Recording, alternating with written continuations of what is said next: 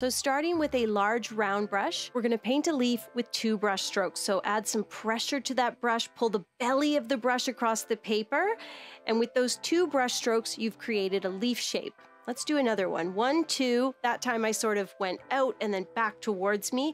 And then I used the tip, that nice pointed, delicate tip of the round brush to do things like refining the shape of the leaf, adding stems and branches, you know, any finer work. That's the beauty of the round brush. You have this large belly that holds all the paint and you can add pressure and do quite a large shape. And then you can use that tip of the brush to come back in with maybe a darker color, release a spot or two of darker pigment or maybe do some thin little veining lines. Now I'm working a little wet into wet here, which means my pigment is still wet. And when I add more, it's going to blend and blur. And when you're painting organic forms, that's really nice.